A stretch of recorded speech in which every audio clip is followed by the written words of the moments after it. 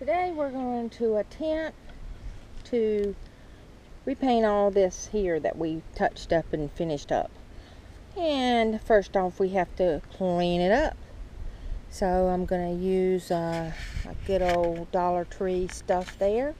I'm going to clean this stuff up. Okay, we've got it all prepped up now.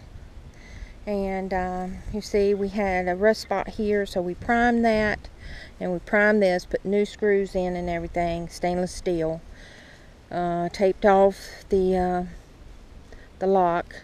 So the only thing we're really painting here is the door itself because you see before he put these little chains on it, it had dropped down and um, caught it right here. So we're going to paint the whole thing. Okay. Okay, don't forget to stir your paint up good. Put some uh, paint thinner in there to uh, clean the gun. So what kind of gun is this? Gravity fed. Gravity fed. Yes, we have painted houses in the past and Auto painted body. auto body, everything. So he's trying to adjust the uh, adjust the airflow now.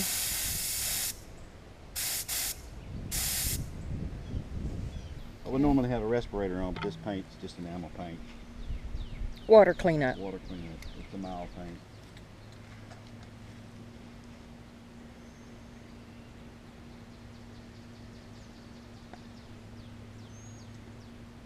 Here, I don't have nowhere to set it. Here, let me hold it.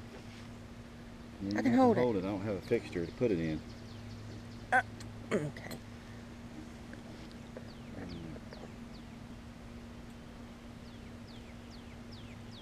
All right, and what he's going to do now, he's going to go over here to our uh, paper that we have on the fence, so he can get his his spray on.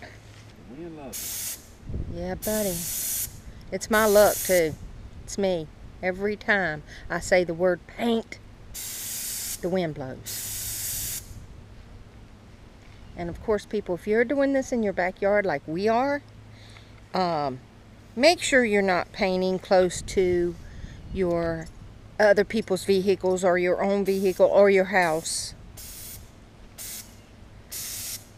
See, he's adjusting his gun.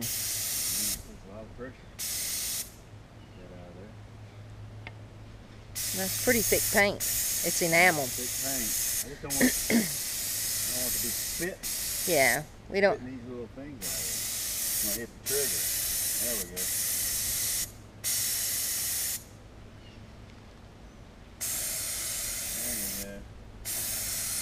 Y'all can see the wind's blowing pretty hard.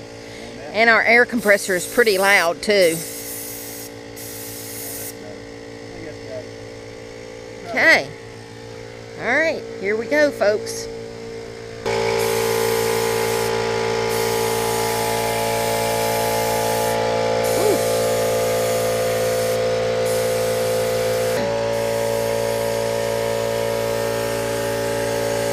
Y'all know he does this at work too.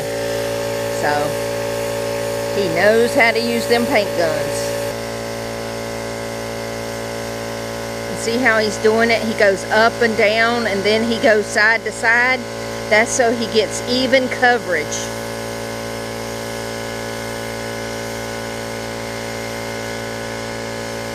And it's putting such a thin layer of paint on there that uh, it dries fairly quickly so he can do it multiple times.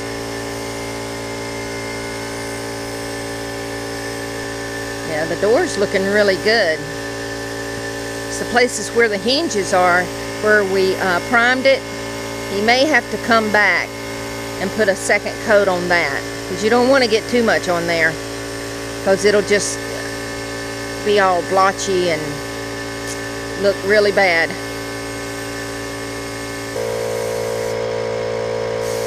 Coverage is pretty good.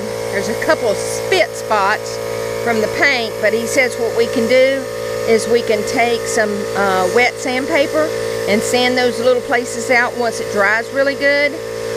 And uh, then we'll put a coat of wax on it and it'll be fine. Sweet.